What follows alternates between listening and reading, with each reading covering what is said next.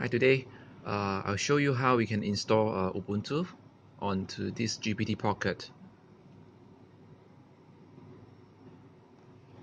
So the thumb drive, I got it from um, the um, this gentleman. Um, I'll provide the link uh, in the descriptions.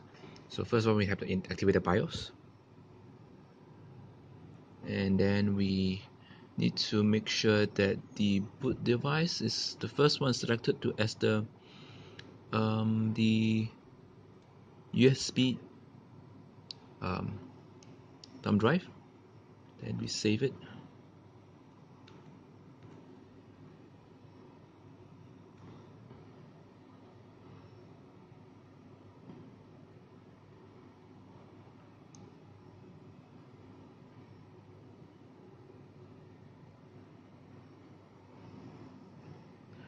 notice at this moment everything's still like slanted or rotated. Um, so but don't worry the image is um, is uh, configured in such a way that after it's put up everything will be rotated back um, into the uh, right angle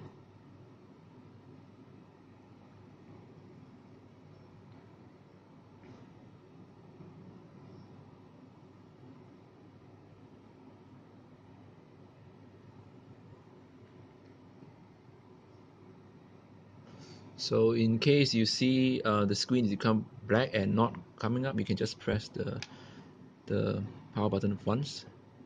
And I believe it will trigger. Yes. Okay now this is the the um the uh, live CD image or live USB whatever you call it.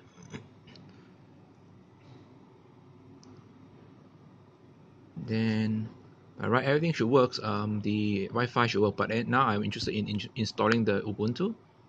So I click on this guy.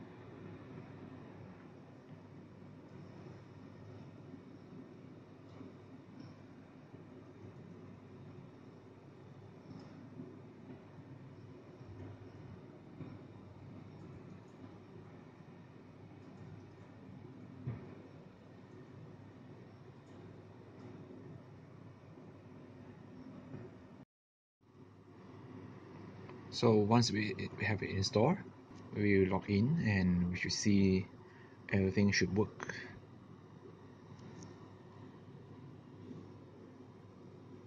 For example like the network should be working. Okay. Then the um, sound as well. The Bluetooth should work. And if we to play some video. See.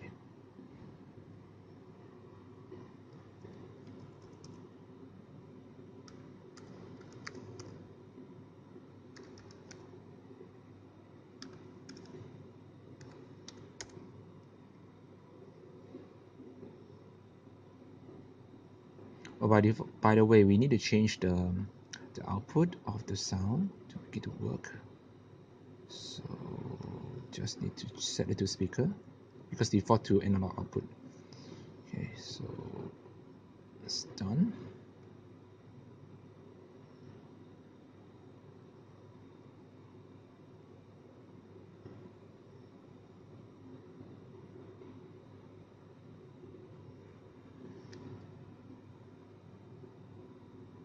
Hello, ladies. This is Gorgeous Ladies of Wrestling. Better make a count right?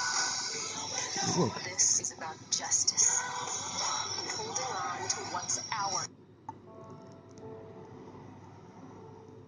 Everyone's already inside.